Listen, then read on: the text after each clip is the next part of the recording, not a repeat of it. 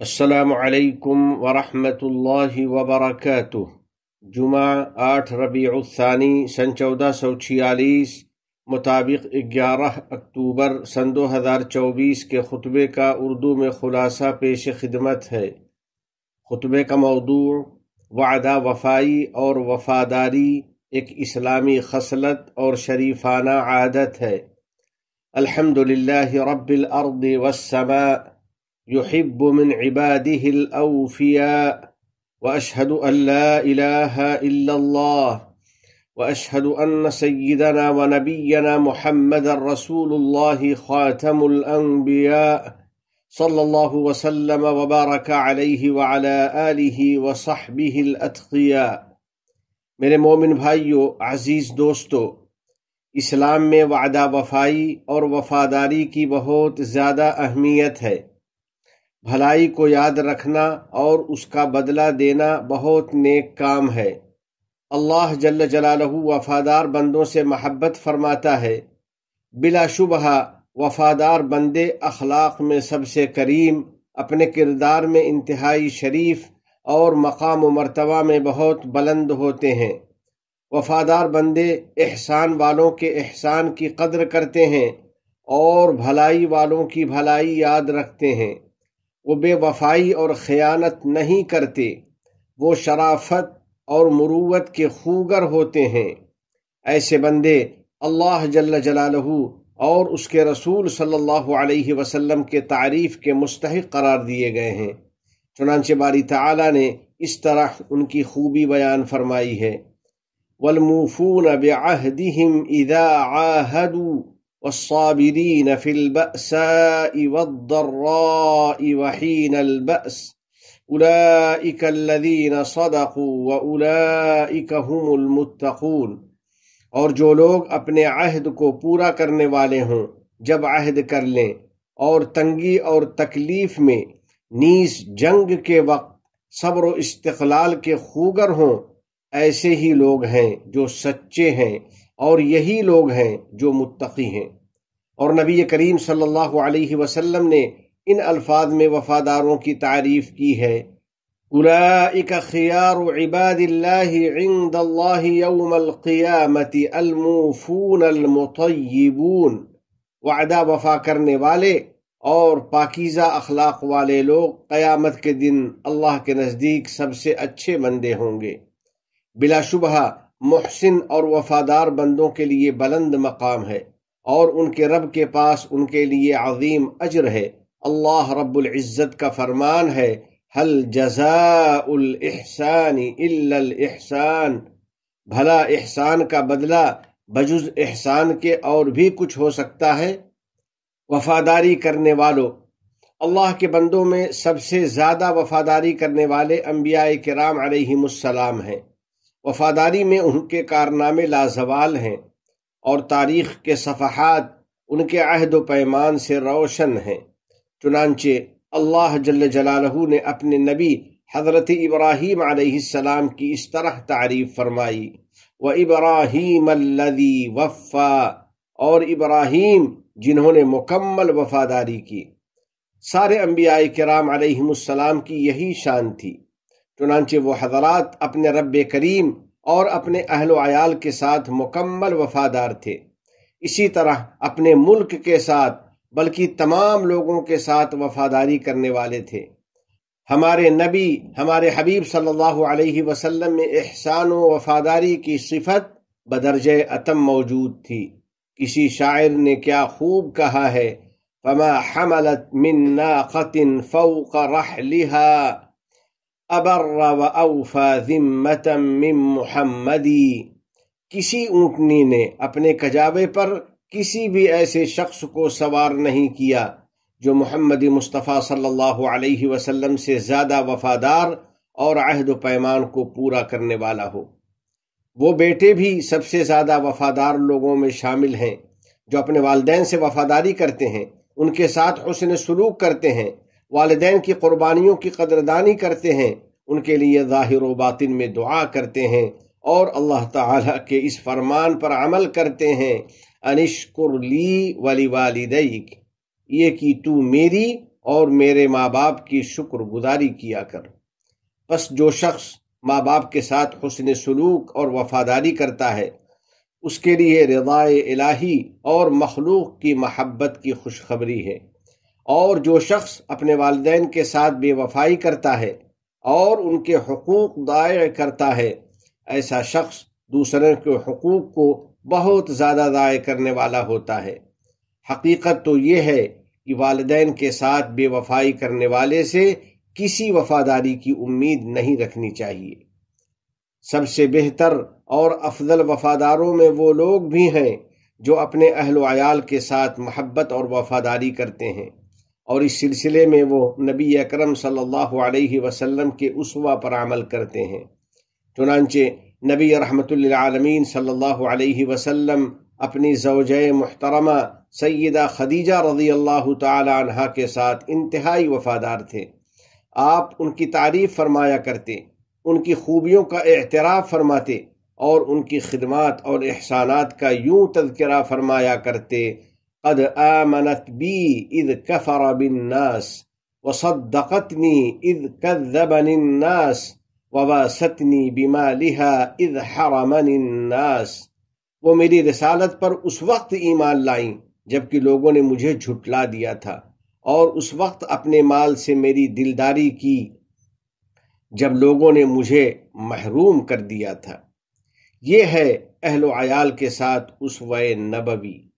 مگر آج کل بہت سے شوہروں کا حال اس سے مختلف ہے۔ وہ اپنی بیویوں کی خوبی کو فراموش کر بیٹھتے ہیں اور ان کی خدمت اور قربانی کا اعتراف نہیں کرتے۔ اسی طرح بہت سی بیویاں اپنے شوہروں کے فضل و احسان کو بھول بیٹھتی ہیں۔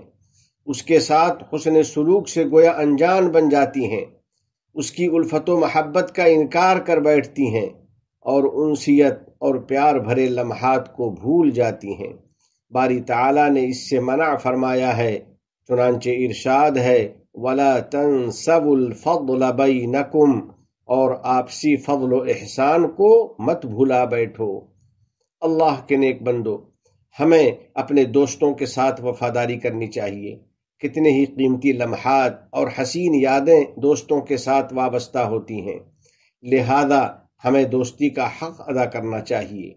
جیسا کہ نبی کریم صلی اللہ علیہ وسلم اپنے مخلص دوست حضرت ابو بکر صدیق رضی اللہ تعالیٰ عنہ کے ساتھ وفادار تھے۔ آپ صلی اللہ علیہ وسلم ان کی خدمات اور احسانات کا برابر تذکرہ کرتے اور فرمایا کرتے، ان امن الناس علی فی و صحبته ابو بکر، مال و دولت اور محبت و رفاقت میں مجھ پر سب سے زیادہ احسان ابو بکر کا ہے۔ اور یقیناً وہ شخص بہت سچا، بڑا وفادار، مخلص، پاک باز اور امانت دار ہے جو اپنے وطن کی ان ذمہ داریوں کو پورا کرتا ہے جن کا اللہ جل جلالہ سے اس نے عہد کر رکھا ہے۔ پس جانثاری کے ساتھ وہ وطن کی خدمت کرتا ہے۔ سرزمین وطن کی حفاظت اور اس کے دفاع میں قیمتی سے قیمتی نعمت نچھاور کر دیتا ہے۔ وطن کی ترقی اور خوشحالی کی کوشش کرتا ہے اور اس کی پائیداری برقرار رکھنے میں قربانی پیش کرتا ہے۔ اور ملک کے بانیوں کی روایات و اقدار کی پاسداری کرتا ہے اور اپنی قیادت کا وفادار رہتا ہے۔ انہی رہنماؤں کے مدرسے سے ہمیں وفاداری کا سبق ملتا ہے اور انہی کے چشمے سے ہم سیراب ہوتے ہیں اور عطا و کرم کے معانی حاصل کرتے ہیں۔ بس لازم ہے کہ ہم اس ملک کے بانی حضرات اور اپنے قائدین کے لیے مخلص رہیں۔ ان کے لیے صبح و شام اخلاص سے دعا کریں۔ ان کا شکریہ ادا کرتے رہیں۔ اور ہم نے ان سے جانثاری اور وفاداری کا جو پیمان کیا ہے، اس کی پاسداری کرتے رہیں۔ رسول اکرم صلی اللہ علیہ وسلم کا فرمان ہے، لا یشکر اللہ من لا یشکر الناس۔ جو شخص لوگوں کا شکریہ ادا نہیں کرتا، وہ اللہ کا بھی شکر ادا نہیں کر سکتا۔ اللہ کے نیک بندو، مشکلات اور مصائب کے وقت وفاداروں کی پوزیشن واضح ہوتی ہے اور ان کے کارنامے کھل کر سامنے آتے ہیں۔ بلا شبہ، متحدہ عرب امارات کا عطا و کرم ہر ایک تک دراز ہے۔ امارات کے احسان کا بادل کبھی نہیں چھٹتا۔ اور اس کے کرم کا چشمہ کبھی خشک نہیں ہوتا۔ وہ اپنے انداز میں جاری ہے اور برابر آگے بڑھ رہا ہے۔ حاسدین اس کی سخاوت کو کوئی نقصان نہیں پہنچا سکتے اور نہ شک میں ڈالنے والے اس کی کوششوں کو روک سکتے ہیں۔ وہ مصیبت زدہ لوگوں کی پکار سنتا ہے۔ متاثرین کی فریاد پر دل سے جواب دیتا ہے اور دل کھول کر ان کی امداد کرتا ہے۔ امارات کے معنی شیخ زائد رحمت اللہ علیہ کی سخاوت اور ان کی روایت اسے سخاوت و کرم پر آمادہ کرتی ہے اور یہاں کا انسانی ضمیر اسے مریضوں کے علاج پر ابھارتا ہے اور بھوکوں کو کھلانے اور محتاجوں کی غم خاری پر آمادہ کرتا ہے۔ وہ نبی کریم صلی اللہ علیہ وسلم کے اس فرمان پر عمل پیرا ہے، احب الناس انفعهم للناس اللہ کے نزدیک لوگوں میں سب سے زیادہ محبوب وہ ہے جو لوگوں کے لیے سب سے زیادہ نفع بخش ہے۔ میرے دوستو، الامارات مع کی یا لبنان نامی مہم اسی سلسلے کی ایک کڑی ہے۔ یعنی اے لبنان، امارات تمہارے ساتھ ہے۔ اس مہم کا آغاز صدر مملکت شیخ محمد بن زائد حفظ اللہ نے کیا ہے، جس کا مقصد لبنانی عوام کے ساتھ ہمدردی کرنا ہے۔